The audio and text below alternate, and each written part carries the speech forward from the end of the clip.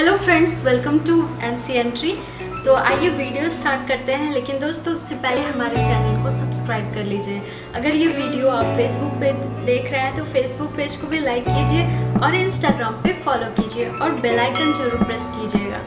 तो आइए video start करते हैं। राधे राधे जय श्री कृष्ण। थैंक यू दोस्तों। तो आज गीता का अध्याय, दूसरा जो अध्याय है, वो स्टार्ट होने वाला है, जिसमें संजय जो है, वो बोलते हैं। तो संजय वाच्य, तम तथा कृपया विष्टम अश्रुपूर्ण आकुल ईक्षणम वसीदंतम इदम वाक्यम उवाच्य मधुसूदन। संजय ने कहा, करुणा से व्याप्त शोक कुल अश्रुपूर्ण नेत्रों वाले अर्जुन को देखकर मधुसूदन कृष्ण ने ये शब्द कहे, तात्पर्य, भौतिक पदार्थों के प्रति करुणा, शोक तथा अश्रु, ये सब असली आत्मा को न जानने के लक्षण हैं। शाश्वत आत्मा के प्रति करुणा ही आत्म साक्षात्कार है इस श्लोक में मधुसूदन शब्द महत्वपूर्ण है कृष्ण ने मधु नामक कृष्ण ने मधु नामक असुर का वध किया था। और अब अर्जुन चाह रहा है कि कृष्ण उस अज्ञान रूपी असुर का वध करे, जिसने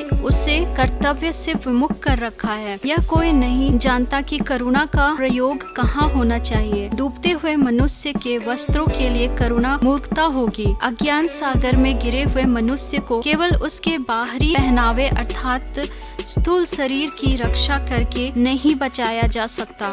जो इसे नहीं जानता है, बाहरी पहनावे के लिए शोक करता है। वह शूद्र कहलाता है, अर्थात वह वृद्धा ही शोक करता है। अर्जुन तो क्षत्रिय था, अतः उससे ऐसा आचरण की आशा नहीं आशा न थी। किंतु भगवान कृष्ण अज्ञानी पुरुष के शोक को विनष्ट कर सकते हैं और इसी उद्देश्य से उन्होंने भगवत गीता का उपदेश दिया। यह अध्याय हमें भौतिक शरीर तथा आत्मा के वैश्लेषिक अध्ययन द्वारा आत्म साक्षरता का उपदेश देता है, जिसकी व्याख्या परम अधिकारी भगवान कृष्ण द्वारा की गई है। यह साक्षात्कार तभी संभव है जब मनुष्य निष्काम भाव से कर्म करे और आत्म बोध को प्राप्त हो। श्री भगवान उवाच। कुतत्वाकश्मलम इदम विषमे समुपस्थितम अन्यार्थ जुष्टमं स्वगर्म्या आकृति कर्मम अर्जुन।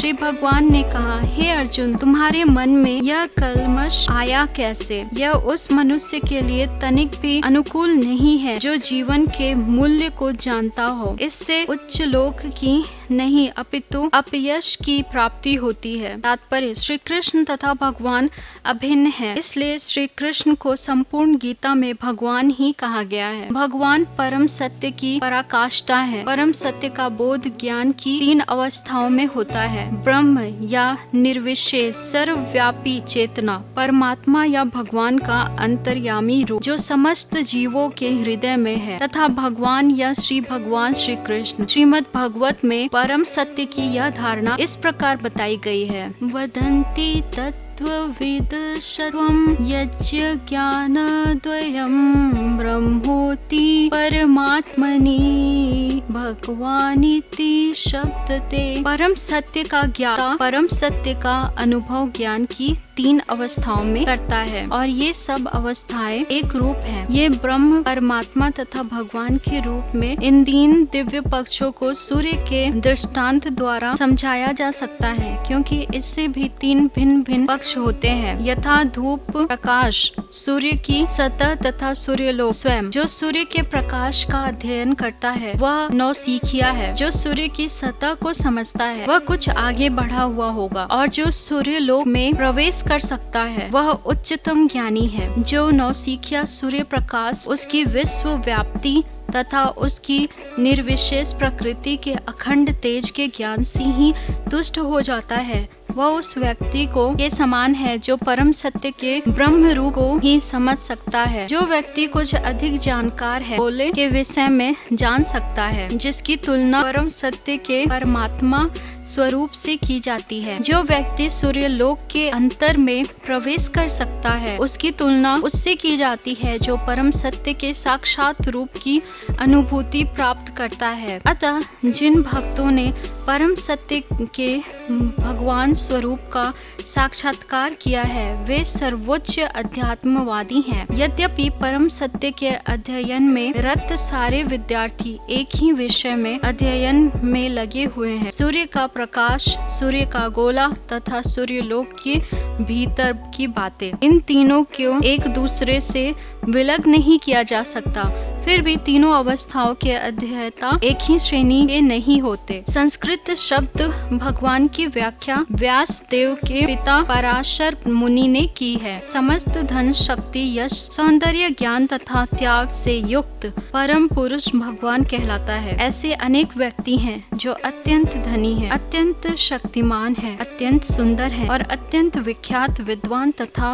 विरुक्त भी हैं। किंतु कोई साधिकार यह नहीं कह सकता कि उसके परम सार, धन, शक्ति आदि एकमात्र कृष्ण ही ऐसा देव कर सकते हैं, क्योंकि वे भगवान हैं। ब्रह्म, शिव या नारायण सहित कोई भी जीव कृष्ण के समान पूर्ण, ऐश्वर्यवान नहीं है। अतः ब्रह्म संहिता में स्वयं ब्रह्मा जी का निर्णय है कि श्री कृष्ण स्वयं भगवान है। न तो कोई उनके तुल्य है, न उनसे बढ़कर है। वे आदि स्वामी या भगवान है। गोविंद रूप में जाने जाते हैं और समस्त कारणों के परम कारण है। ईश्वर परमा कृष्ण, सच्चिदानंद विग्रह, अनादिरादि गोविंद सर्व कारण कारणम। ऐसे अनेक पुरुष हैं जो भगवान के गुणों से युक्त हैं, किंतु कृष्ण परम है, क्योंकि उनसे बढ़कर कोई नहीं। है। वे परम पुरुष हैं और उनका शरीर सच्चिदानंदमय है। वे आदि भगवान गोविंद हैं और समस्त कारणों के कारण हैं।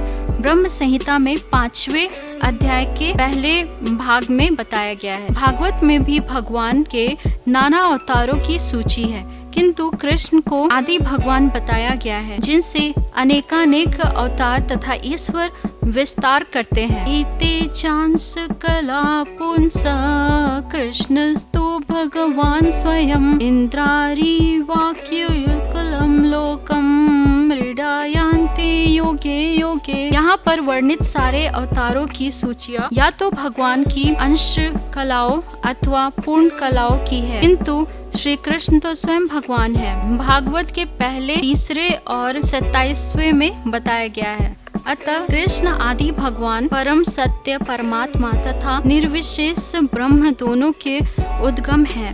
भगवान की उपस्थिति में अर्जुन द्वारा स्वजनों के लिए शोक करना सर्वथा अशोभनीय है। अतः कृष्ण ने कुतः शब्द से अपना आश्चर्य व्यक्त किया है। आर्य जैसी सभ्य जाति के किसी व्यक्ति से ऐसी मलिनता की उम्मीद नहीं की जाती। आर्य शब्द उन व्यक्तियों पर लागू होता है, जो जीवन के मूल्य को जानते हैं।